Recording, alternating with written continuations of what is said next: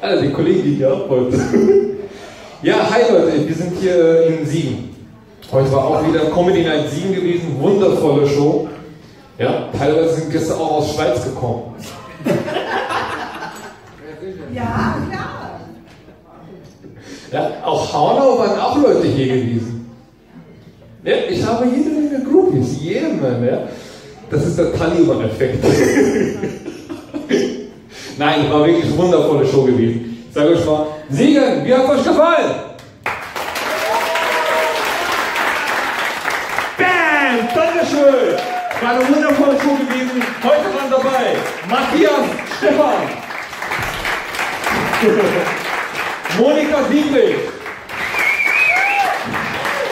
und Wladimir Andrienko.